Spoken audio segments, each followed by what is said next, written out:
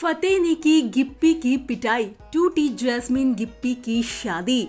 बात हो रही है कलर्स टीवी की सीरियल उडारिया की। दोस्तों, आने वाले एपिसोड में आप बड़ा ही शॉकिंग वाला ट्विस्ट देखने वाले हैं।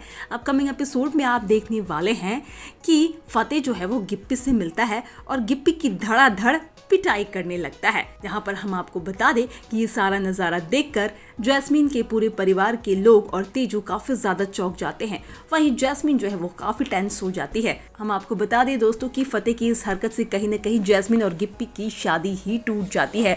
वैसे हम आपको बताना चाहेंगे कि जैस्मिन गिप्पी को बिल्कुल पसंद नहीं करती, उससे शादी बिल्कुल नहीं करना चाहती है। तो कहीं ना कहीं जैस्मिन को ये सब बड़ा ही सही लग रहा है कि उसकी शादी टूट गई है। जैस्मिन तो बल्कि ये भी चाहती थी और कहीं ना कहीं जो है, ये भी आने वाले एपिसोड में देखने को मिल रहा है कि यहाँ पर जैस्मिन और फतेह मिलकर प्लान बनाते हैं कि कैसे गिप्पी को उसकी ज़िंदगी से निकाला जाए।